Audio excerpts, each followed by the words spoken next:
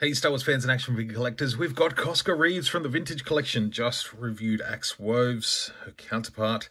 And again, really, really glad these ones came out here in Australia, given that they were Target exclusives in the US.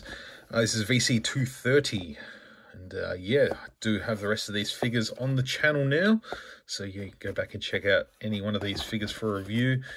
Cardwork, cardboards, cardboard, card back artwork is looking awesome. Love that. It's a little bit painted. It looks, uh, yeah, just the way it's sort of composited. Looks good though. Now she was a great figure in the Black Series line, so we'll take a look at how she is in the Vintage Collection. It looks as though she's got the uh, same feature as Bo-Katan with the swap out head for helmet. Um, I did say with the Axe Woves that I wish they did that because they gave him uh, an empty helmet for for his head. So I wish they did that on that version. But um, obviously this being a sort of newer sculpt um, with new tooling, they're able to do it with this figure. Whereas that one was reused from a figure that's a few years old now. So all good. Um, yeah, let's just crack into it and uh, get Koska out of the packaging. She looks looks really cool yeah, here we go. Got a minute little jetpack. So we'll get a quick look at that. It's a tiny little thing. But at least it's all in one piece. if you saw my Axe Woves review, you will understand. Again, she's coming with one blaster pistol. Um, yeah, I believe that that's that's right too. If I can get it out. There we go. The one time their sticky tape is actually good. Helmet out. So yeah, there we go, straight off the back. It's got the peg. The peg for the helmet, and the switch out. It does have the rangefinder that moves. And yeah, it does look quite small. So your axe woves here side by side yeah, a little bit of size difference there, but um, yeah, I don't know. I feel like that might be a little bit, little bit small, but that's all right. I know her and Bo-Katan weren't super, super tall characters, but uh, if we go sort of side by side, oh, that probably works. You know, he was a tall dude. Um,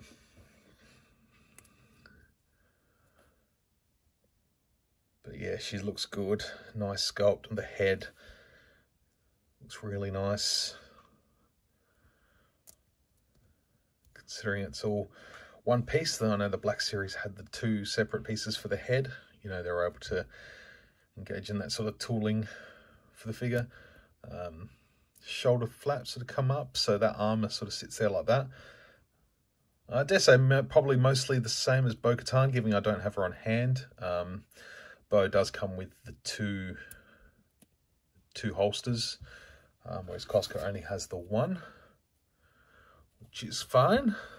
Articulation seems to move nice.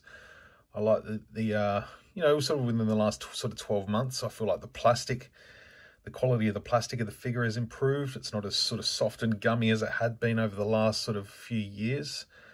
Um, know, whether that's a result of, you know, change in factories, change in, you know, Tooling changes means, you know, change to the way they do things. Not sure. Couldn't tell you. But uh, yeah, it feels like an improvement to me. So there's a jetpack which will peg into her back. That looks good.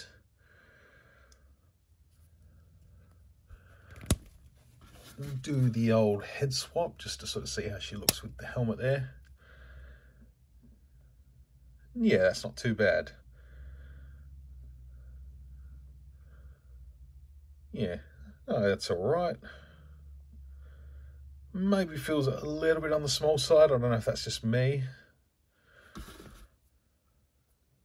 So I feel like maybe the head feels, looks maybe a little bit bigger than the helmet. I don't know, hard to tell. Maybe it's just me. I'll spend a little bit more time sort of playing with this figure and looking at it and sort of see how I feel.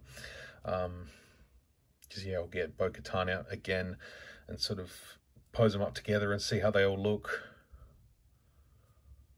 But either way, I'm digging it. I think this is a nice figure, really good articulation all around.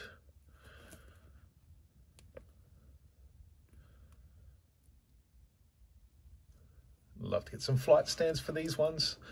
Get them to zoom around and do cool shit stuff.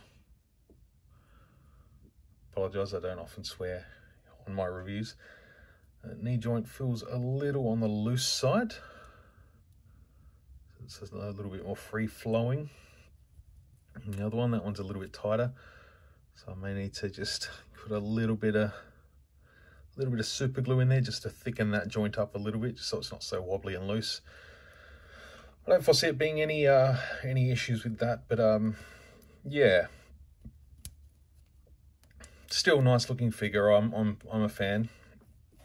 I do like the uh, unhelmeted look.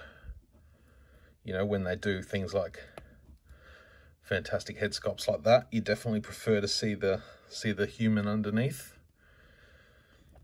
When it's time for battle, you know, I love that you can still pose her up with the uh, helmet in her hands or rested at her side or something like that. Looks good. So yeah, definitely a fan of these figures. If you missed Axe Woves and Migs Mayfeld, please go back and check them out. There's the last two videos in my channel feed uh, before this one.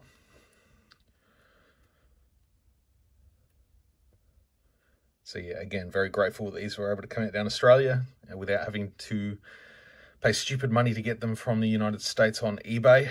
I'm very, very glad I didn't have to go down that route. So thank you all very much for watching. I do appreciate it. And uh, we'll see you all again in another video real soon. So until then, may the force be with you always.